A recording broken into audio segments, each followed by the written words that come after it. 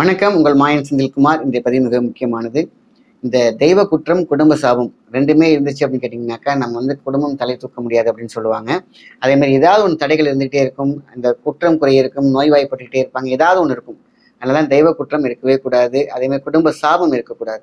ஏதோ ரூபத்தில் யாராவது ஒருத்தவங்க வந்து சாபம் விட்டு போயிருப்பாங்க. அந்த சாபம் என்பது நமக்கு வந்து ஏதாவது ஒன்று நிறுத்தி நம்மளுடைய தடையை வாழ்க்கை தடையை வந்து பார்த்திங்கன்னா கொடுத்துக்கிட்டே இருக்கும். நம்ம முன்னேறவே முடியாத ஒரு சூழ்நிலை கூட இருக்கும். எங்கே போனாலும் உங்களுக்கு சாபம் இருக்குது ஆனால் தெய்வ குற்றம் இருக்குது ஏதாவது சொல்லுவாங்க இல்லையா? அப்படி ஏதாவது இருந்துச்சுனால இல்லை ஏதாவது தென்பட்டாலும் இல்லைன்னா ஏதாவது ஒன்று தடங்கள் இருந்துச்சுனாலும் இந்த பரிகாரம் ரொம்ப ரொம்ப முக்கியம். வெள்ளிக்கிழமை ராகு காலத்தில் நம்ம செய்ய வேண்டிய ஒரு அற்புதமான விளக்கேற்று முறை தான் ஒரு விளக்கு எடுத்துக்கோங்க. தாமரை திரி. நெய்யில் போடணும் அவ்வளோதான் சிம்பிள் இன்னைக்கு வந்து நிறைய தீபம் இருந்தாலும் தாமரை திரி நீங்கள் நாட்டு மந்த கடையில் கேட்டாலே தருவாங்க. அந்த தாமரை திரியில் அது வந்து வெண்தாமரை செந்தாமரை எது வேணாலும் இருக்கட்டும். தாமரை திரையில் நெய் தீபம் போட்டு ஏற்றிட்டு வந்தோம்னா குடும்ப சாபம் ப்ளஸ் தெய்வ குற்றம் நீங்கும். இதுதான் ரொம்ப ரொம்ப முக்கியமானது. இன்னைக்கு வந்து இருக்கா இல்லையா ஆராய்ச்சி பண்ண தேவையில்லை. நமக்கு ஏதாவது தடங்கள் தொடர்ந்து வந்துட்டு இருக்கா? இல்லை துன்பங்கள் தொடர்ந்து வந்துட்டு இருக்கா? ஏதாவது தடைகள் இருந்துகிட்டே இருக்கா?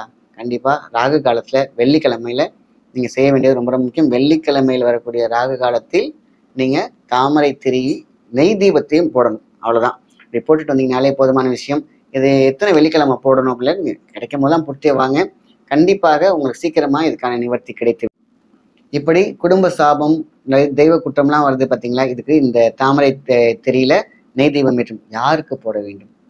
அதான் துர்கை அம்மனுக்கு. நான் அடிக்க முன்னாடி அடிக்கடி சொல்ற விஷயம் துர்கைங்கிறவங்க வந்து பார்த்தீங்கன்னா நம்மளுடைய ஆபத்தாண்டவங்க மாதிரி மிகப்பெரிய தேவதை மிகப்பெரிய தெய்வம்.